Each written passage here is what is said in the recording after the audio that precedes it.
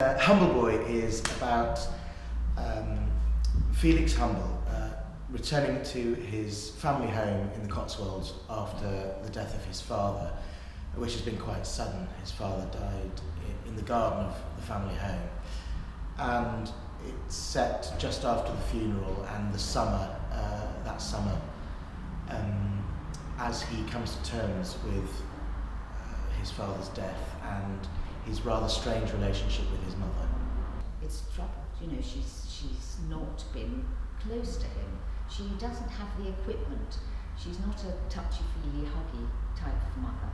She loves him, but he doesn't feel it. But then he's someone who is described as someone who can't really accept love. Anyway, he has a problem with, with love. He's, he's, and he's inherited a lot of her characteristics from that point of view. Uh, George is um, uh, he owns a coach company. He's a driver, although he's semi-retired, and uh, he's been having an affair for a long time with Flora, um, and uh, her husband dies, and I see my opportunity to marry her.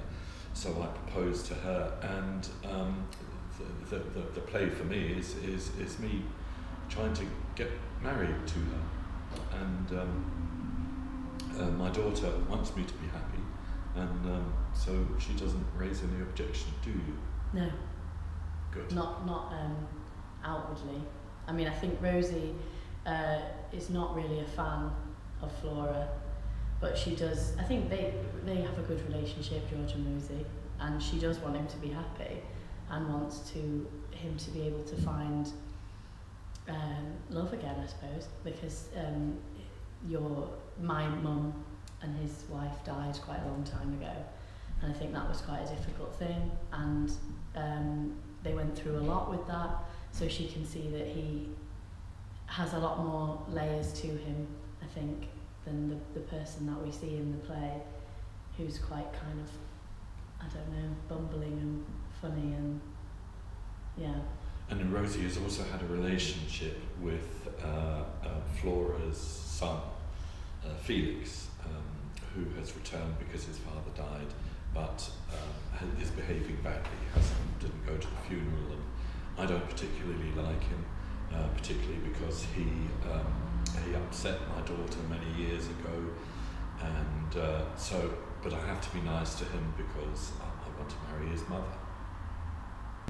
My character, Mercy Lott, is a neighbour who has led rather a sheltered life and has become friends with Felix's mother.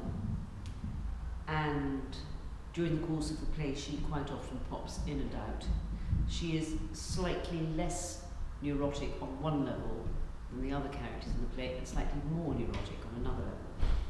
So there's quite a lot of interesting things that occur during the play we don't want to give away. No. But um, as in all kind of family reunions, the pressure of uh, everyone's expectations kind of, you know, um, curdles and results in quite a lot of explosive behaviour, which Mercy negotiates with a certain amount of fear. Um, well, I found it very funny. I laughed out loud when I read it, but I was also very moved by it, um, about um, I mean, the, the, the character's journey to some sort of the resolution of their problems.